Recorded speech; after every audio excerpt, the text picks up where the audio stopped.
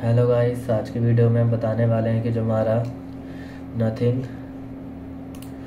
To A phone है तो Nothing two ए phone की सेटिंग्स पे जाकर जो हमारे फ़ोन में ऑप्शन आता है कि आप कैसे अपने फ़ोन की सेटिंग्स पे जाकर वाईफाई की प्रॉब्लम को सॉल्व कैसे कर सकते हैं नथिंग टू ए फ़ोन की सेटिंग्स पे जाकर तो आज हम बताने वाले हैं कि वाईफाई प्रॉब्लम को सॉल्व कैसे कर सकते हैं अपने नथिंग टू ए फ़ोन की सेटिंग्स पे जाकर।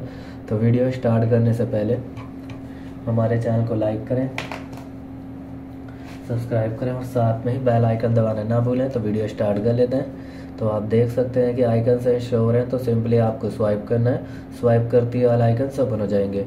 जिसमें से आपको क्लिक करना होगा सेटिंग्स पे।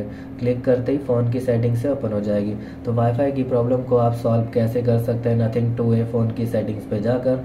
तो सिंपली सेटिंग्स है शो हो रही है शो हो रही है। फिर आपके पास में ऑप्शन आता है, देख सकते हैं सिस्टम सेटिंग्स तो सिस्टम सेटिंग्स पे आप जा सकते हैं और सिस्टम सेटिंग्स पे जाकर सिस्टम सेटिंग्स पे जाकर,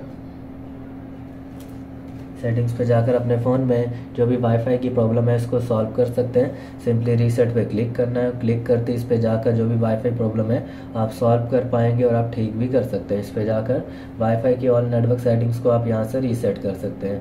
टैप करते हैं और पासवर्ड डाल देंगे कुछ इस तरीके से। तो वाईफाई की ऑल नेटवर्क सेटिंग्स को आप यहाँ से रीसेट कर सकते हैं और रीसेट करके वाईफाई की प्रॉब्लम को सॉल्व कर सकते हैं। तो इस तरीके से भी वाईफाई की प्रॉब्लम को आप सॉल्व कर सकते हैं नेटवर्क सेटिंग्स को रीसेट करके और वाईफाई प्रॉब्लम आपके फ़ोन में सॉल्व हो जाएगी। तो आपको वीडियो अच्छी लगी तो लाइक करें और साथ में ही बेल आइकन दबाना ना भूलें। थैंक यू नेक्स्ट वीडियो के लिए इंतज़ार करें। वीडियोज़ को शेयर करें। थैंक यू वीडियो अच्छी लगी तो।